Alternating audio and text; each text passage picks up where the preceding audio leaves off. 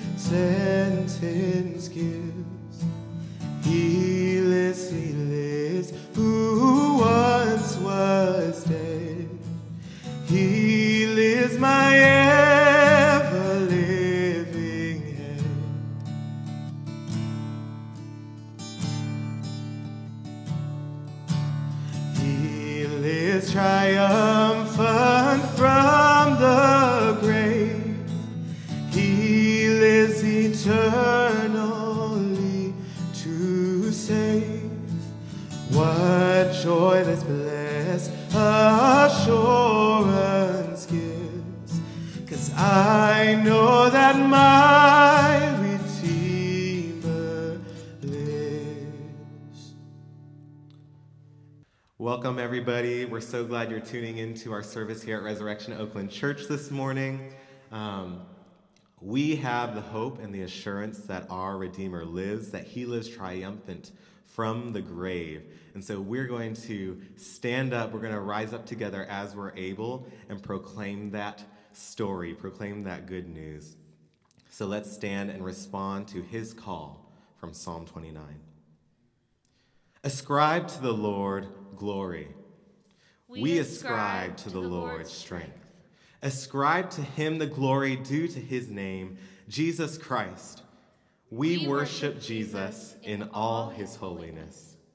Lord, grant us strength to worship, because you are the eternal King, always worthy of praise.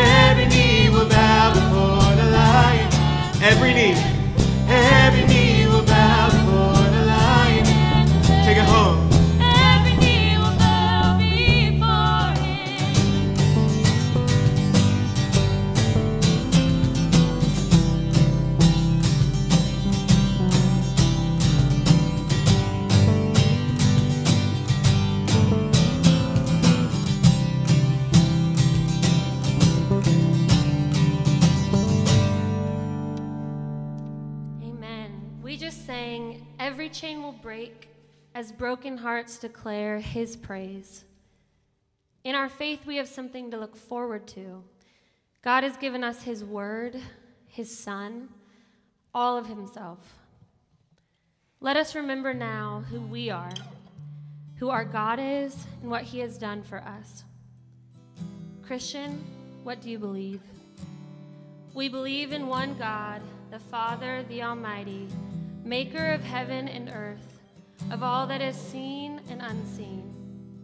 We believe in one Lord Jesus Christ, the only Son of God, eternally begotten of the Father, God from God, light from light, true God from true God, begotten, not made, of one being with the Father. Through him all things were made. For us and our salvation, he came down from heaven. By the power of the Holy Spirit, he became incarnate from the Virgin Mary and was made man. For our sake, he was crucified under Pontius Pilate. He suffered death and was buried.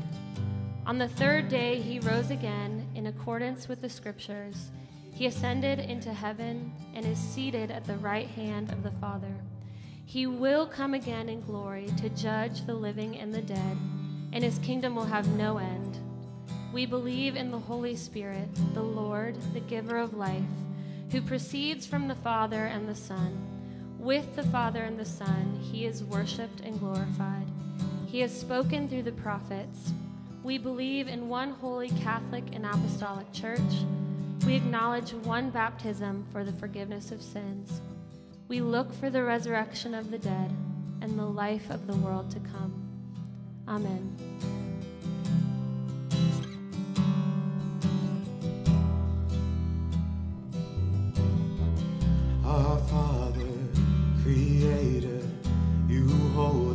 Together. There's no one higher than you. Redeemer, Defender, our great and mighty Savior. There's no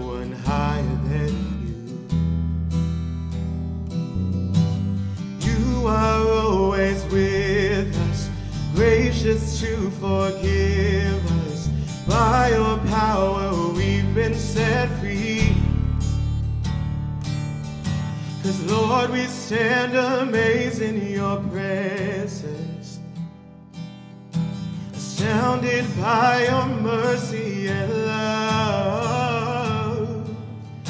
Our hands are lifted high in surrender. Your grace for me is always enough. There is no one higher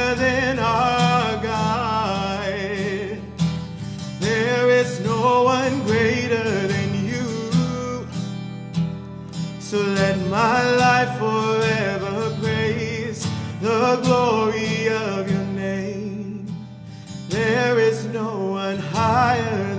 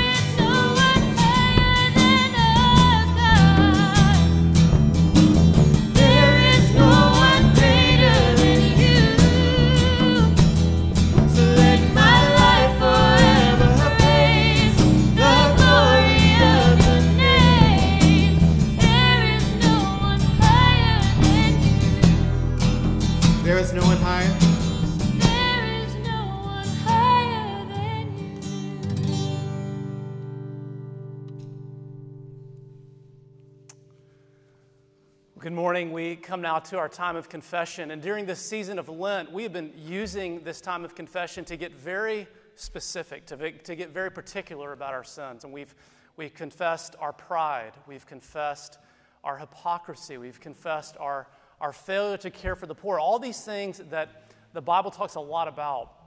This morning, we're going to confess our greed.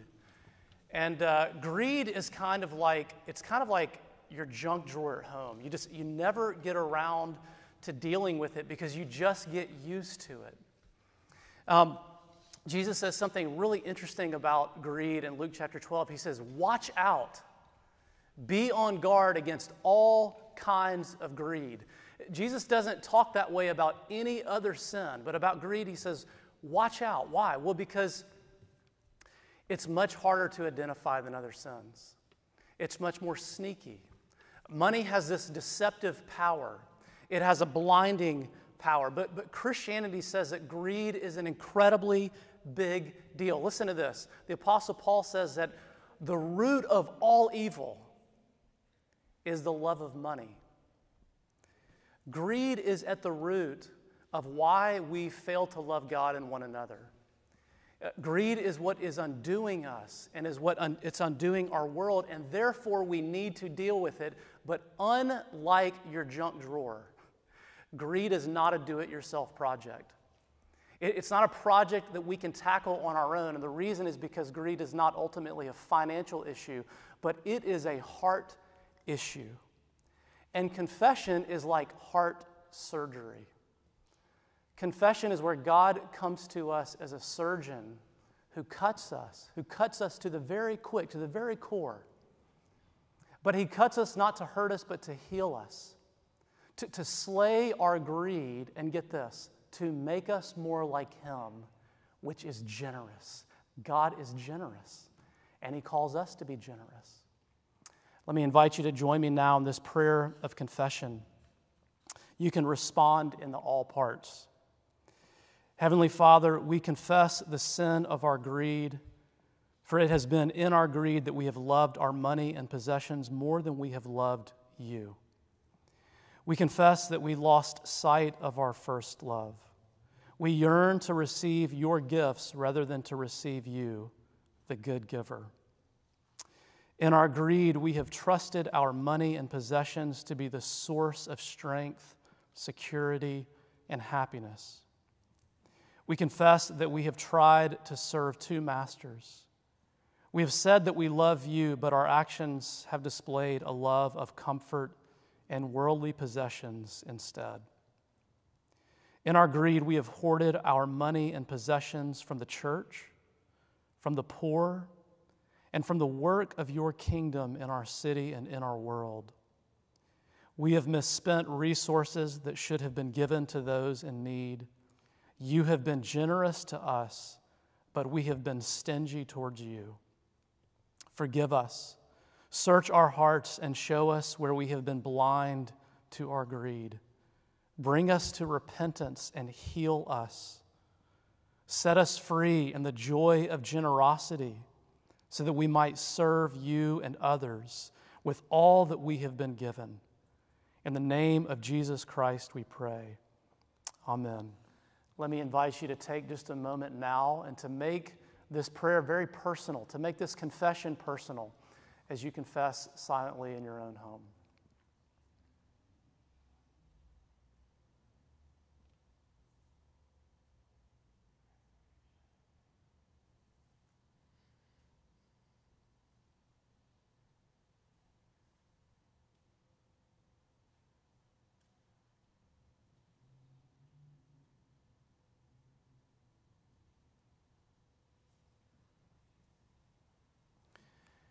Hear now these words of assurance from 2 Corinthians chapter 8. For you know the grace of our Lord Jesus Christ, that though he was rich, he became, yet, yet for your sake, he became poor, so that through his poverty we might become rich. In Christ, and because of Christ, we have all the riches of God's love and His grace and His forgiveness that we could ever hope for. Let me invite you to stand as we respond to that good news now together.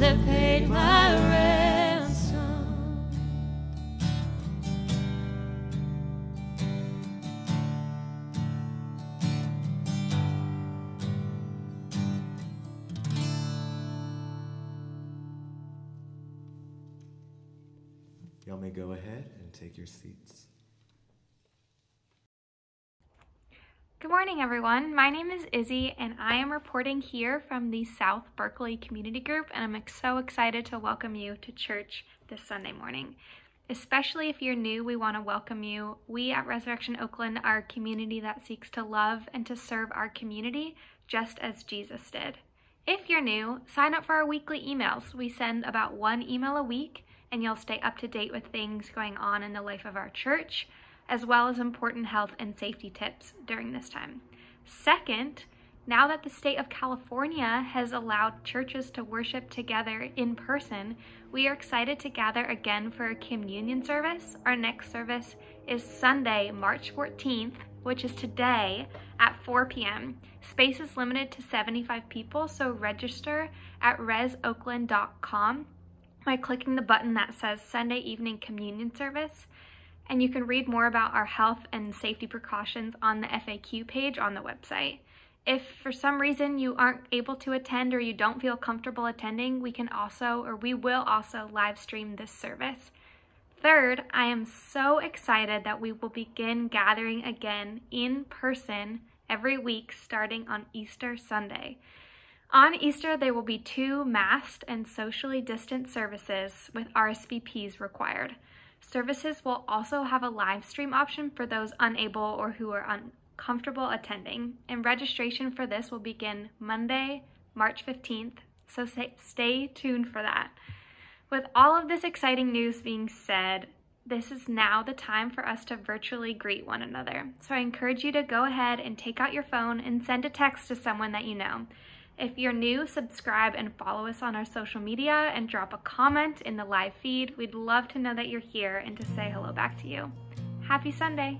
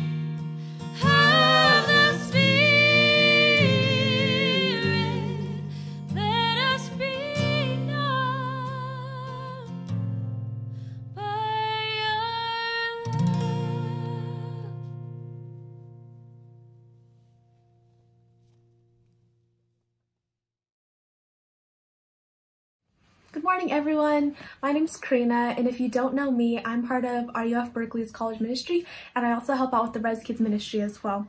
I'd love it if you join me in a reading from God's Word, Luke chapter 8, verses 1 through 15, the parable of the sower.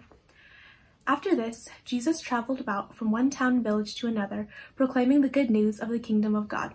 The twelve were with him, and also some women who had been cured of evil spirits and diseases. Mary, called Magdalene, from whom seven demons had come out, Joanna, the wife of Chuza, the manager of Herod's household, Susanna, and many others. These women were helping to support them out of their own means. While a large crowd was gathering and people were coming to Jesus from town after town, he told this parable. A farmer went out to sow his seed. As he was scattering the seed, some fell along the path. It was trampled on, and the birds of the air ate it up. Some fell on rock, and when it came up, the plants withered because they had no moisture. Other seed fell among thorns, which grew up with it and choked the plants. Still other seed fell on good soil. It came up and yielded a crop, a hundred times more than was sown. When he said this, he called out, He who has ears to hear, let him hear. His disciples asked him what this parable meant. He said, The knowledge of the secrets of the kingdom of God has been given to you, but to others I speak in parables, so that, though seeing they may not see, though hearing they may not understand. This is the meaning of the parable. The seed is the word of God. Those along the path are the ones who hear, and then the devil comes and takes away the word from their hearts, so that they may not believe and be saved. Those on the rock are the ones who receive the word with joy when they hear it, but they have no root. They believe for a while, but in the time of testing they fall away. The seed that fell among thorns stands for those who hear, but as they go on their way, they are choked by life's worries, riches, and pleasures, and they do not mature. But the seed on good soil stands for those with a noble and good heart, who hear the word, retain it, and by persevering produce a crop. This is the word of the Lord. Thanks be to God. Let's take just a moment to pray together. Father, you tell us that you alone have the words of life. And those are the words that we need this morning. We don't need words of human wisdom. We certainly don't need my words. We need your words. We need your spirit to come and give us ears to hear those words and to make our hearts open to receive those words. Would you meet us wherever we are this morning? Convinced, unconvinced, somewhere in between, trying to figure out if we could ever believe these things, whether we feel close to you or far from you, whether our lives are filled with suffering or with joy, or we're just in a season of boredom and kind of going through the motions. God, we need you. And we need you to break into our lives again today with your word and by your spirit. And so, would you do it? We pray. And we ask all this in Christ's name. Amen. When's the last time you stared at a gravestone? It's probably not the happiest first sentence you've ever heard in a sermon, but uh, I find gravestones pretty fascinating. There's a large cemetery near our house, and before COVID hit, I used to run through this cemetery once a week. Actually, it was kind of a, it was kind of my weekly reminder of my own mortality. The thing that fascinates me about gravestones is that all of them, every gravestone, has three things. They have the date that someone was born, they have the date that someone died, and then in between these two dates is this tiny little dash. Their whole life comes down in the end to this tiny little dash. And you know, that is true for all of us. That's, that's, a, that's a sobering thing to think about. But here's something actually even more sobering is that every single day, our actions, our pursuits, the things that we give our time to and our money to and our attention to, the things that we prioritize, the things that we daydream about and fantasize about, everything we do every single day comes down to what we think is going to give us the very best dash possible in the end. It comes down to what we think is going to create for us the most fulfilling life possible. What we think will give us a life well lived. In his book, A Guide to the Good Life, William Irvine writes about the danger of misliving. And he says this He says, There is a danger that you will mislive, that despite all your activity, despite all the pleasant diversions you might have enjoyed while alive, you will end up living a bad life. There is, in other words, a danger that when you are on your deathbed, you will look back and realize that you wasted your one chance at living. And instead of spending your life pursuing something genuinely valuable, you squandered it because you allowed yourself to be distracted by the various baubles life has to offer. Friends, Christianity, I want you to hear this. Christianity is not just about morality, it is not just about doctrine, it is not just about religious activity, it is about a life well lived. And a life well lived is what the Bible calls a fruitful life. It's what Galatians 5 means when it talks about the fruit of the Spirit that is love, joy, peace, patience, kindness, goodness, faithfulness, gentleness, and self control. And a fruitful life is what Jesus is talking about in this story of four soils.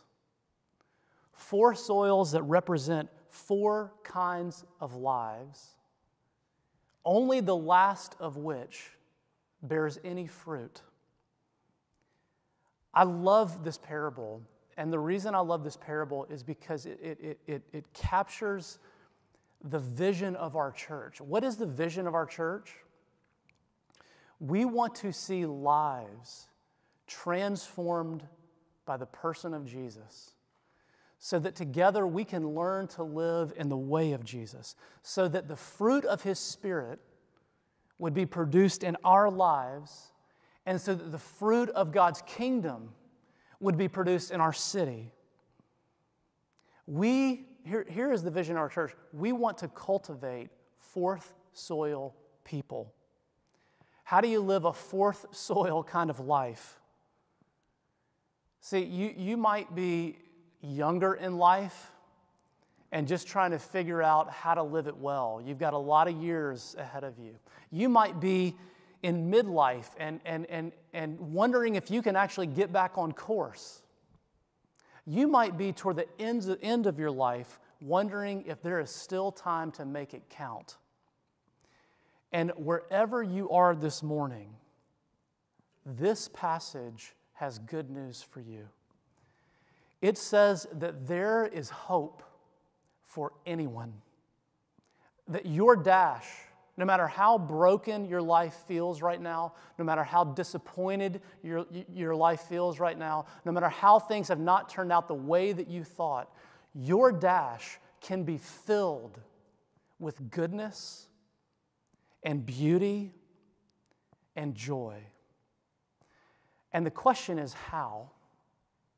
And that's actually what this text tells us. That's our sermon for today. We're going to consider four things that these four soils tell us about how you can experience a fruitful life, a life well lived. Do you want it? Let's dive into it. Here's the first thing is that the first soil tells us that you need to, to live a fruitful life, you need a heart that receives Jesus rather than rejects him. Look at verse 5.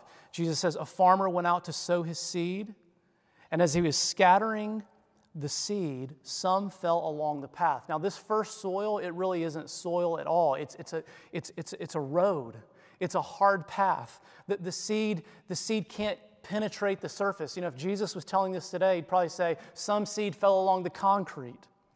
And the seed, what is the seed? The seed that Jesus is talking about is himself. It's the message of the gospel. And in verse 12, what Jesus, when he explains who these people are, he says, Look, these, these, this first soil, these are people who they hear the message of the gospel and they reject it. Now we have to be very careful here because your tendency might be to start thinking about all the irreligious people you know, all the atheists, all the agnostics, you know, all the people who've just kind of outright rejected God. They said, I don't believe in God, I don't need God. But I don't think that's who Jesus is talking about here. Who in the Gospels, who are the people who are most hostile to him? Who, who were the people who were quickest to reject him? You know who they were? They were the religious people, they were the Pharisees. See, there is a type of unbelief that flows out of your religion, for sure. But there is another type of unbelief that actually flows out of a religion. It flows out of a heart that says, I'm a pretty good person, I go to church, I do spiritual things, and yet you can have a heart that is as hard as concrete towards Jesus. It is a heart that has received him maybe as a moral example or as a teacher, but it has not received him as Savior. And that is very important because what Jesus is teaching us in this first soil is that a fruitful life, if you want a fruitful life, it doesn't start with 10 steps or 10 techniques. No, it starts with receiving Him as He has claimed to be in the Gospels. Uh, Jesus says it this way in John chapter 15. He says, I am the vine, you are the branches. Remain in me, and you will bear much fruit. Apart from me, you can do nothing. Nothing. Do you hear that? Jesus is saying that the only way to live a fruitful life, a, a, a life well lived, a, a, transformed life, a life of love and joy and patience and kindness, it, it, it is to receive Him into your life. That is step one. And this is where I, I wish that you know we were all in this room worshiping together this morning because I know right now many of you you would be fidgeting in your seats. You'd be saying, "Now wait a minute." I know lots of people, I have lots of friends, I have coworkers, I have neighbors who are not Christians and they are loving people and they are joyful people and they are generous people and they care about justice. This doesn't make any sense. I mean, are you saying, Brent, are you trying to say that there, that, that there are not good people who don't believe in Jesus? Listen, there are lots of good people who don't believe in Jesus. But listen to this do not confuse a supernaturally changed heart with someone's natural temperament. See, some people, just by their personality, just by their temperament, just by the, the family that they have been, the, the environment that they've been raised in, just by nature of those things, they are more patient or they are more loving, they are more generous. But one of the ways that you know you are growing as a Christian is when you are growing in ways that are not natural to you. It is when you see fruit coming out of your life that is contrary to your makeup or to your disposition.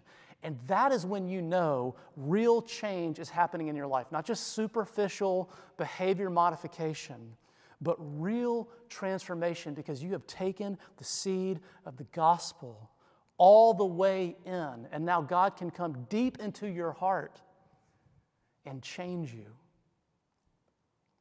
Two quick questions here before we move on. First, have you received Him? Have you received Him, not as your teacher, not as your example, but have you received Him as your Savior, as your only hope? Friends, if not, you can receive him today. He can come into your life today. Second question if you have received him, let, me ask you what is your prayer life like? Do you, do, you, do you ask God to cultivate fruit in your life? John Stott, who's a very famous uh, pastor, he, he said this. He said, he, he said, every morning he prayed the same prayer. And this is what he prayed prayed, Heavenly Father, I pray that this day I may live in your presence and please you more and more. Lord Jesus, I pray that this day I may take up my cross and follow you. Holy Spirit, I pray that this day you will fill me with yourself and cause your fruit to ripen in my life.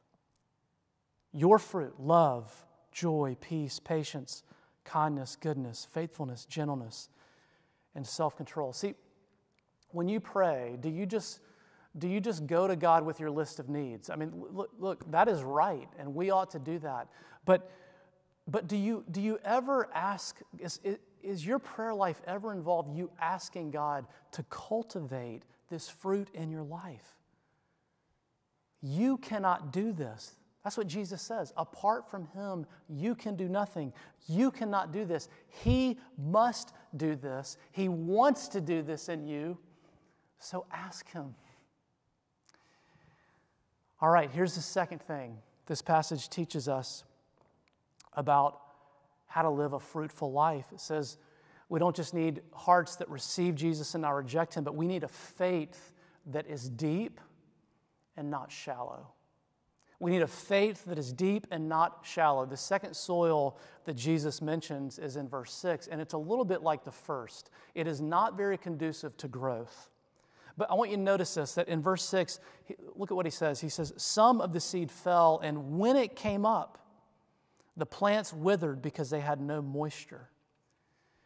This second soil is a little different because the seed experiences some growth. See, there was no growth in the first one. It experiences some growth, but the growth is short lived.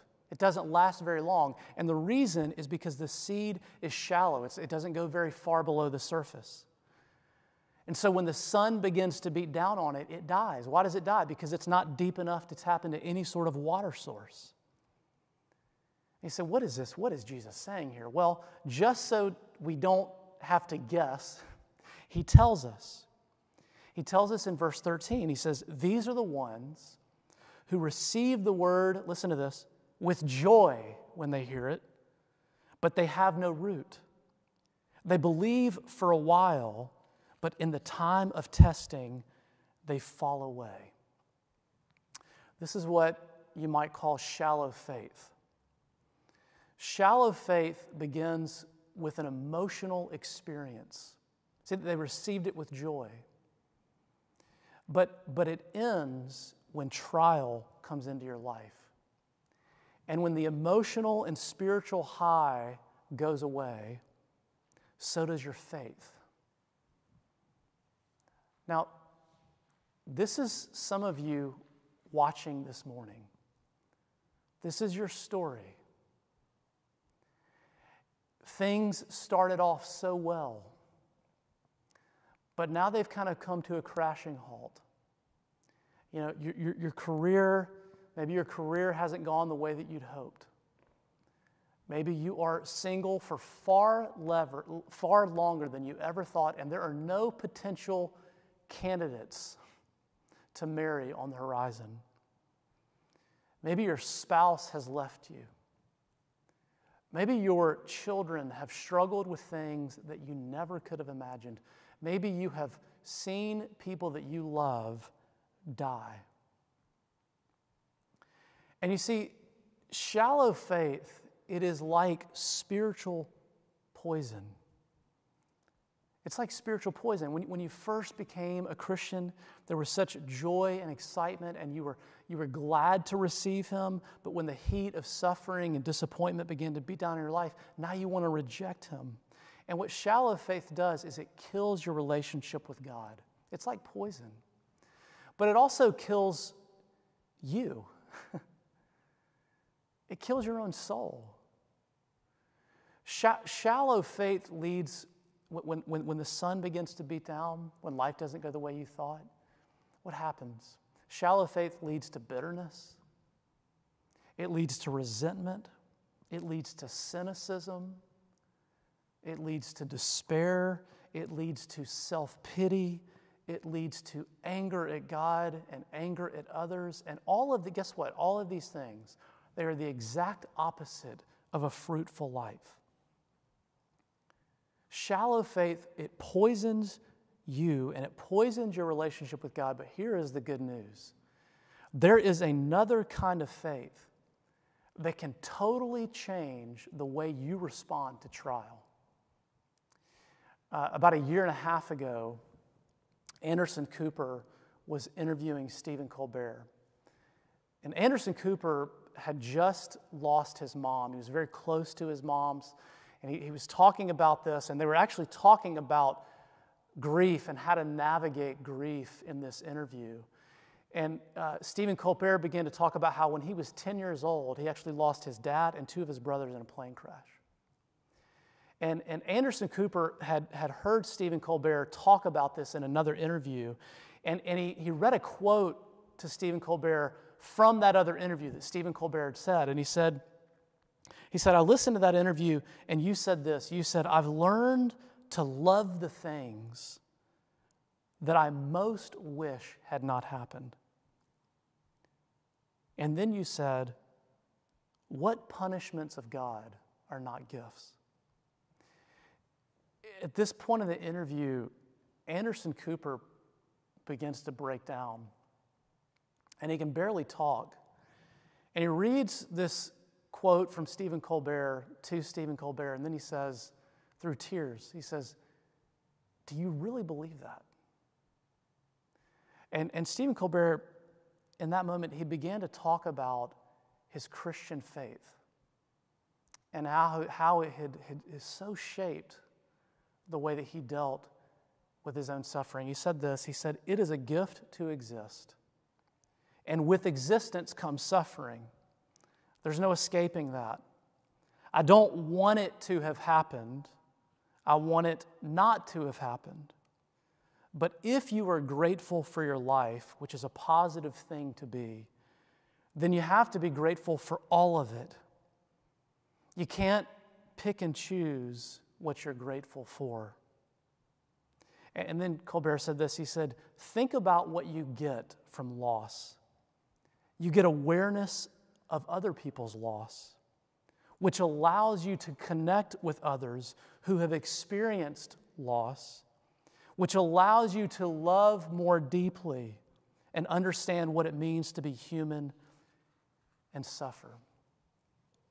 That is called deep faith. That is a faith that has sunk its roots deep down into the love and the goodness and the mysterious sovereignty of God. See, shallow faith, it lives under the false premise that Jesus wants to make your life easy. That, that's a strange premise to actually hold to because Jesus himself said, In this world, you will have trouble. See, shallow faith, it lives under the false premise that Jesus wants to make your life easy. Deep faith clings to the truth that Jesus intends to make you wise and strong in Him, and that He can use even the hardest things in your life to accomplish that. Here's a very challenging question for you. We're, we're a year into this pandemic, it's been a hard year people have lost a lot of things. How does your faith compare today to a year ago? Is it, is it more shallow or is it more deep? See, shallow faith, it is surprised by trial. Deep faith expects it. Shallow faith is dependent on, an, on emotional experiences. Deep faith remains even when the emotions wane. Shallow faith makes you want to run from God in trial. Deep faith makes you want to run to Him in trial. Shallow faith makes you less fruitful in suffering because it makes you more angry, more hard, more embittered, more resentful, but deep faith makes you more fruitful in suffering because it makes you more wise. It makes you more compassionate. It makes you more gentle. It makes you more like Jesus. Now, that brings us to the third thing this passage teaches us about a fruitful life and how to have a fruitful life. And here it is you need a worship that is singular and not divided.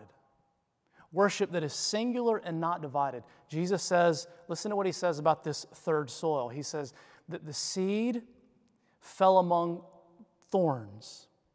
See, this third soil on the, on the surface, it looks ideal for growth, but underneath, hidden below the surface, are other things that are choking out the life of the plant. And what are, what are these thorns? I mean, that's kind of a strange metaphor to use. What are these thorns? Well, Jesus tells us in verse 14. He says they're life's worries, riches, and pleasures. Riches and pleasures.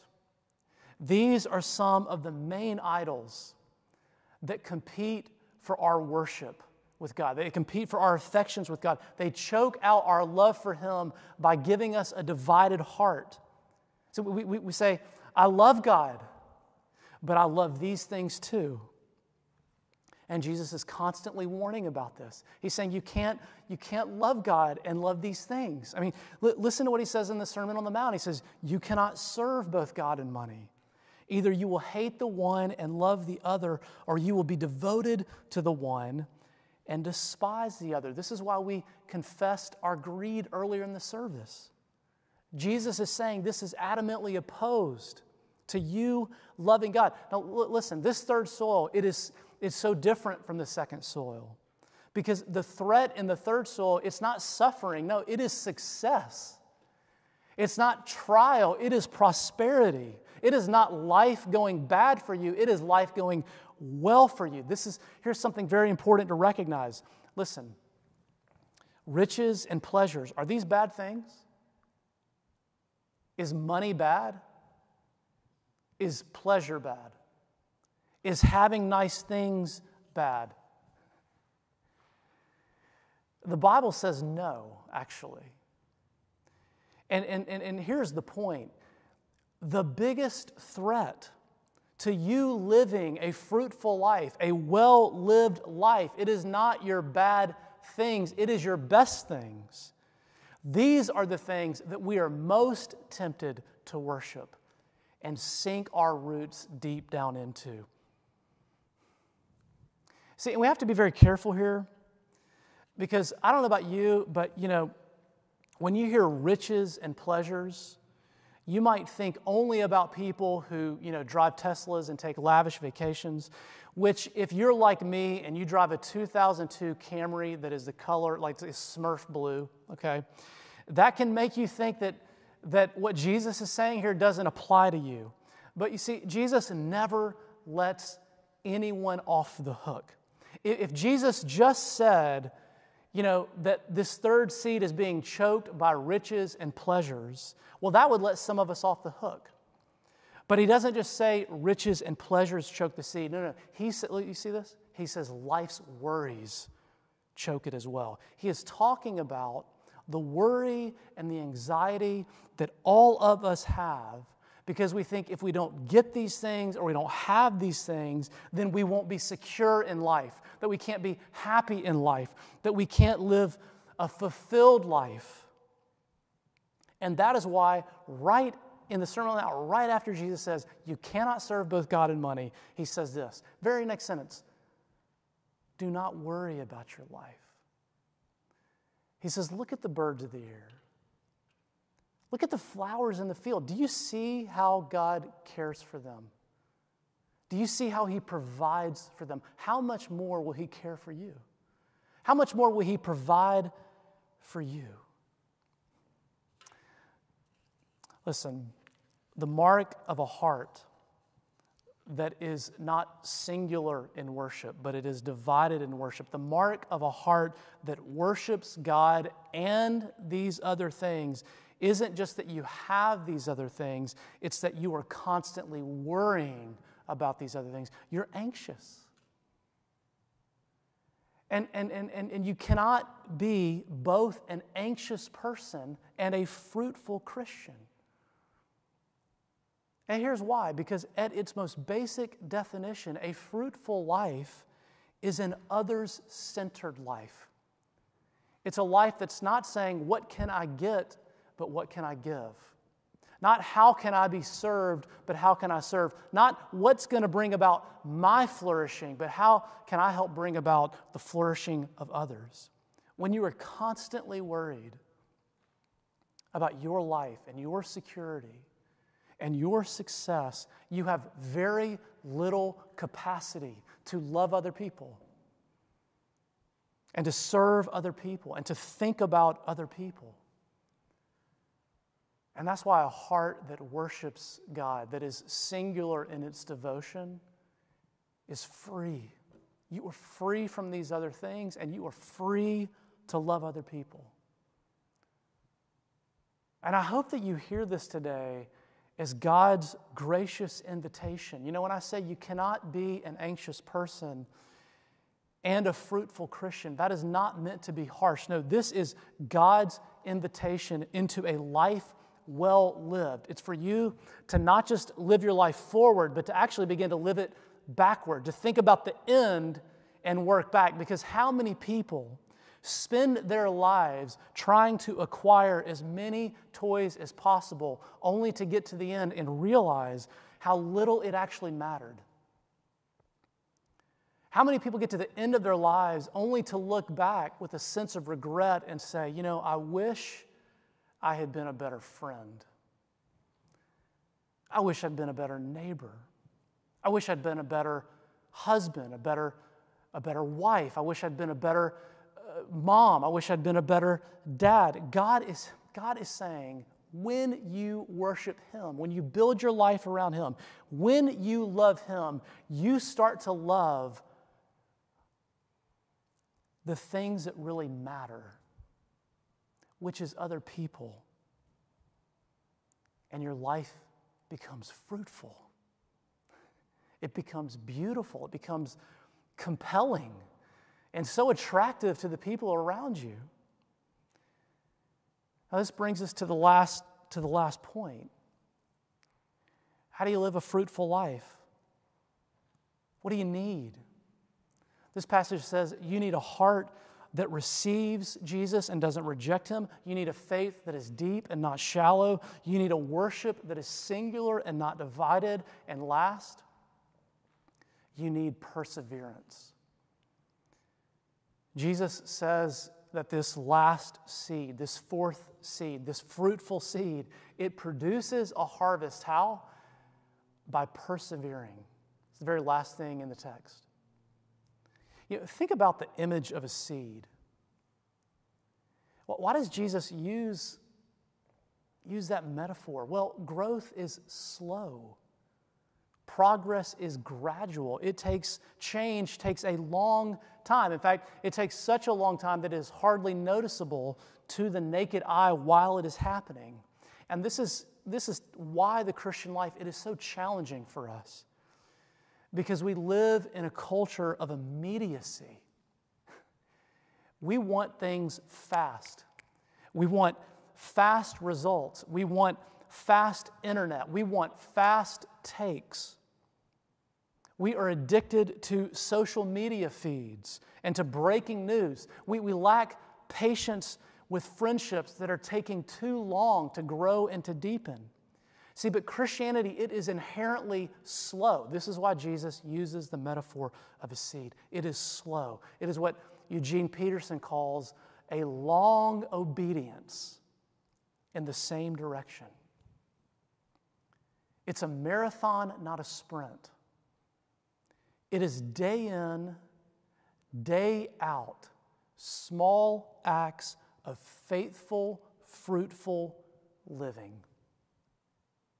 standing firm when trials come, rooting out the other thorns in our lives, meditating on God's word and his promises to us, living lives of repentance and justice and forgiveness, dying to ourselves so that we can love our neighbors. See, that is the way of Jesus. And that is the way of perseverance. The, the first soil in the parable says that to live a fruitful life, you first have to receive Jesus. But this fourth soil is saying you've got to continue in Him. Colossians chapter 2, verse 6, Paul says this So then, just as you received Christ Jesus as Lord, continue to live in Him, rooted and built up in Him. Perseverance a long obedience in the same direction. You know, and the question that all of us should be asking is how do we do this? That sounds hard. How do we persevere? You know, some of you, you feel like your faith is teetering and you are on the edge. See, is there anything that could help us and enable us to endure? And for that matter, is there anything that could soften a hard heart to receive Jesus and not refuse him? Is there anything that could deepen my shallow faith? Is there anything that could give me affections for God that are singular and not divided? And if you are asking these questions, there is such hope for you in this passage. Such hope. In the Gospel of Matthew, when Jesus tells this parable, you know what he calls it? He calls it the parable of the sower. We think it's all about the soils. And if you think it's all about the soils, that's going to do one of two things for you. It's either going to make you very afraid if you think you're one of the first three, or it is going to make you very proud and very arrogant and very smug. You're going to look down on people if you think you're the last one. See, we think it is about us. You know what Jesus says? He says it is about God, it's about the sower. God is the one who enables us to live fruitful lives. See, God is more committed to you, to you experiencing a life well lived than you are. He is more committed to you living a life of joy and beauty and goodness than you are. God is the one who enables us to live fruitful lives. God is the one who enables us to receive Him. We can take no credit for that. God is the one who enables us to withstand trials, and God is the one who enables us to persevere. See, every other religion says you hold fast to God, but Christianity says no, no, no, no. God holds fast to you. It says that long before you reached out to Him, He reached out to you. He reached out for you. And the reason that we can lay hold of Him is because He first laid hold of us. Paul says it this way I press on to make Jesus my own as He has made me His own. Christian friend, you are not strong enough to fall away when God is resolved to hold you. And do you know the links to which He went so that He could hold you? In John chapter 12, Jesus, he's, he says, My hour has come. And whenever he says that in John's gospel, he's talking about, whenever he talks about his hour, he's talking about the cross. He says this He says, My hour has come. No seed can bear fruit unless it falls to the ground and dies. Here's the Christian gospel Jesus is the seed who came into this world and died. And he was buried in the ground so that he could come out of a tomb and into your life and hold you and love you and care for you and call you his own and produce in you a life that is far better and far more fruitful than you could ever dream. Do you want it? Receive Him. Look to Him. Continue in Him, and He will give it to you. Let's pray. Father, what, what good news for us this morning. If only we could hear it, if only we could believe it, if only we could receive it. Would you give us faith to believe this morning?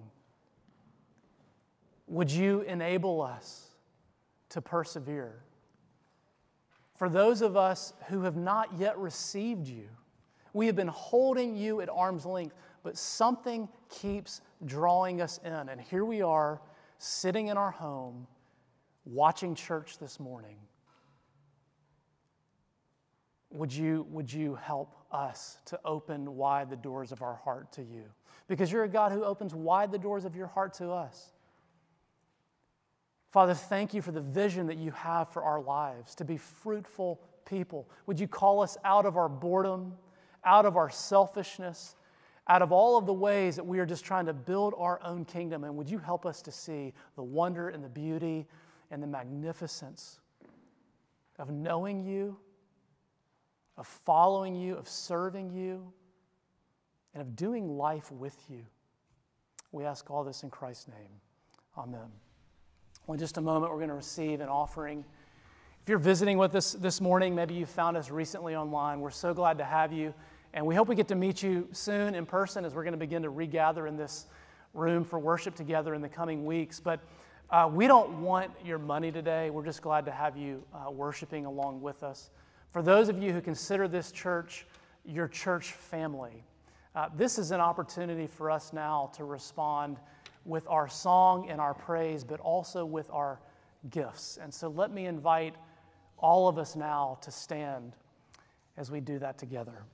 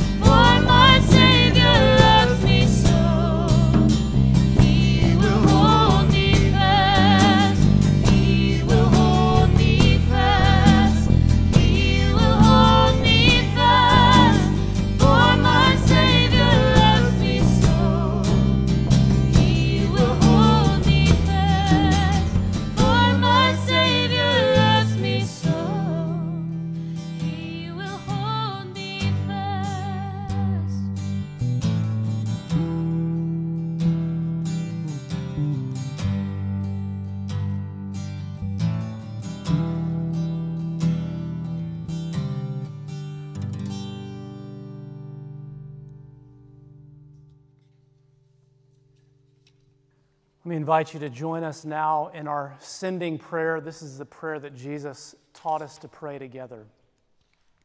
Our Father, who is in heaven, hallowed be your name. Your kingdom come, your will be done, on earth as it is in heaven. Give us this day our daily bread, and forgive us our sins, as we forgive those who sin against us. And lead us not into temptation, but deliver us from evil. For yours is the kingdom, and the power, and the glory forever. Amen. We're so glad that you joined us this morning to worship together. We hope that you'll join us again next Sunday at 10 a.m. But until then, let me invite you to lift your hands and receive God's blessing on your life. Now, may the God of peace sanctify you completely, and may your whole spirit, soul, and body be kept blameless until the coming of our Lord Jesus Christ. The one who calls you is faithful, and he will do it. Amen.